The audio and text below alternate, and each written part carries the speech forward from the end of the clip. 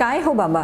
तुम्ही सतत मला गुणसंपन्न हो गुणसंपन्न हो सांगत राहता आणि माझ्याकडून थोडं जरी चुकलं की लगेच मला रागवता सुद्धा. तो मुलगा आपल्या बाबांना म्हणत होता. बाबांनी छानसं स्माईल केलं आणि एक काचेचा ग्लास त्याला घेऊन यायला सांगितलं. लगेच तो काचेचा ग्लास घेऊन आला. बाबांनी विचारलं या ग्लासाची किंमत किती असेल बरं? त्यानं विचार केला असेल कदाचित एक पंधरा वीस रुपये. बरं ठीक आहे.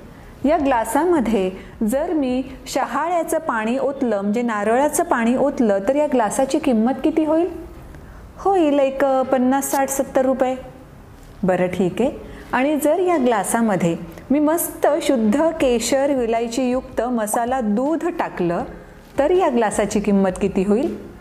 बापरे आता किंमत वाढेल त्याची. जवळपास शंभर दीडशे होईल का?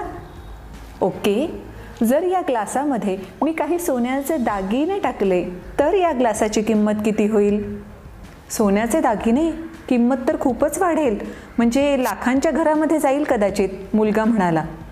बरं आणि जर मी या ग्लासामध्ये जर हिऱ्याचे दागिने काही टाकले तर या ग्लासाची किंमत किती होईल? बाबा हिऱ्याचे दागिने टाकल्यावर तर त्या ग्लासाची किंमत आता कदाचित करोडोमध्ये जाईल. असं तो सांगत असतानाच बाबांनी काय केलं?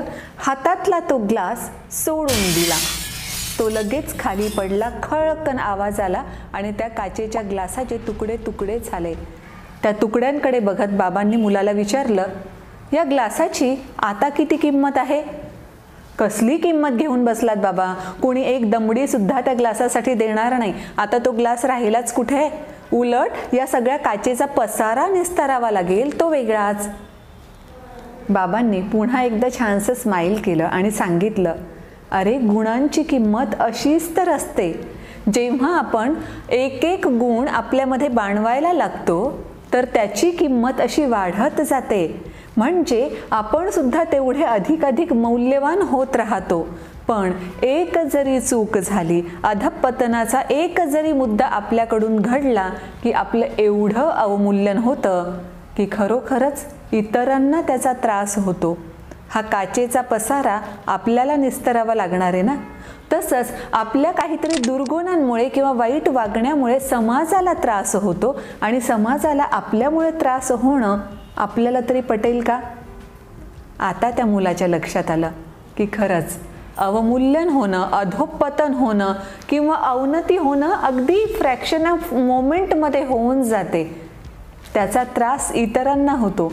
पण स्वतः जेवढे अधिकाधिक सर्व गुण संपन्न होण्याचा आपण प्रयत्न करू तेवढा समाजालाच फायदा असतो की नाही?